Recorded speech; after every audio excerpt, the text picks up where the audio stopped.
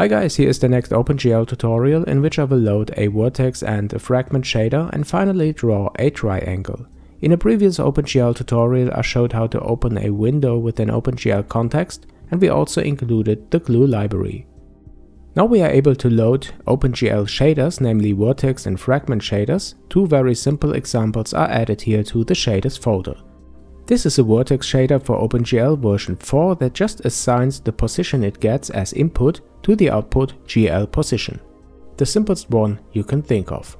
And this is a fragment shader that no matter what sets the used color to a kind of purple tone.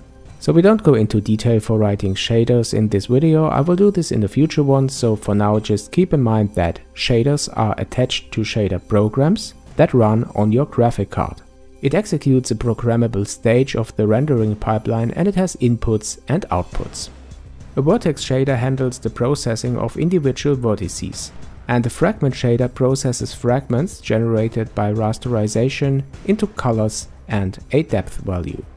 So you can say it takes care of the appearance of pixels between the vertices, but I will come back to this in a special video.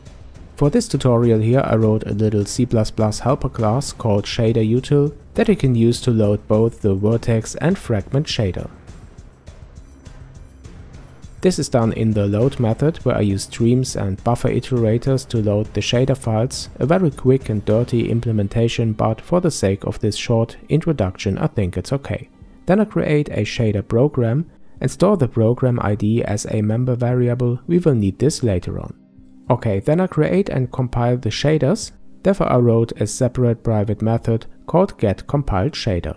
I call this for the vertex and the fragment shader and the ID of the created shader is returned as unsigned int. In the method I call createShader and compile it, and then I get the compiled status to check if there are any errors, and if this is the case I print them out as standard error. In the end I return the shader ID.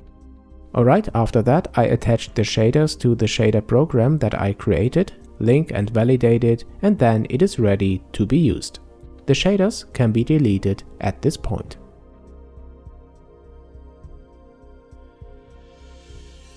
To actually use the shader program, you can call the use method, and if you don't need it anymore, just call delete. Okay, now let's come back to our main CPP file and include the header of the shader util And at this point here, when we know that GLEW and the OpenGL context is initialized correctly, I create a local shader util variable and call the load method with the two shader files as parameters.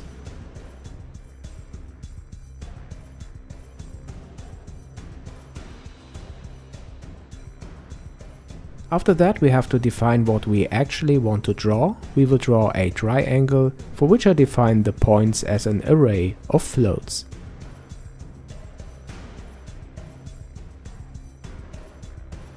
Now that I have three points here, I have to create, bind and initialize a buffer for vertex attributes and three points which are six floats.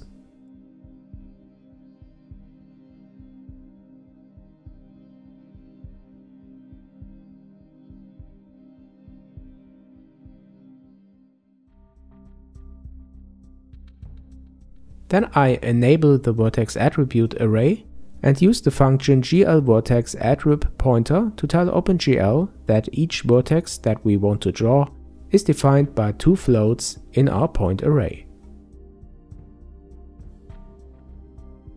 Okay, and then I call use of the shader util to use our shader program before we go ahead and call glDrawArrays to draw the three points of the triangle in the while loop and when we are done, we can delete the shader program. So now we can build our project, start it, and here's our purple triangle.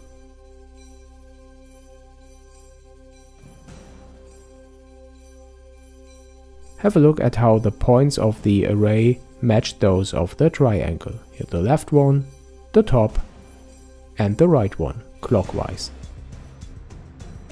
Alright guys, that's it. I uploaded the Visual Studio 2017 project to my Patreon, get it for free. I didn't add error or exception handling, the implementation is quick and dirty, but if you like, go ahead and extend it.